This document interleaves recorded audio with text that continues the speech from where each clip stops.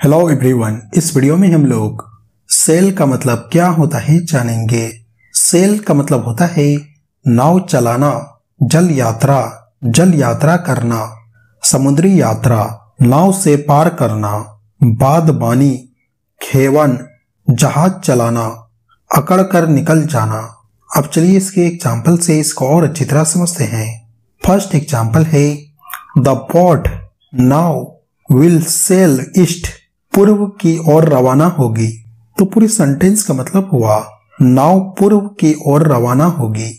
Next example है this ship या जहाज़ will sail for Mumbai Mumbai के लिए रवाना होगा। टुमारो कल। तो पूरे सेंटेंस का मतलब हुआ यह जहाज़ कल मुंबई के लिए रवाना होगा।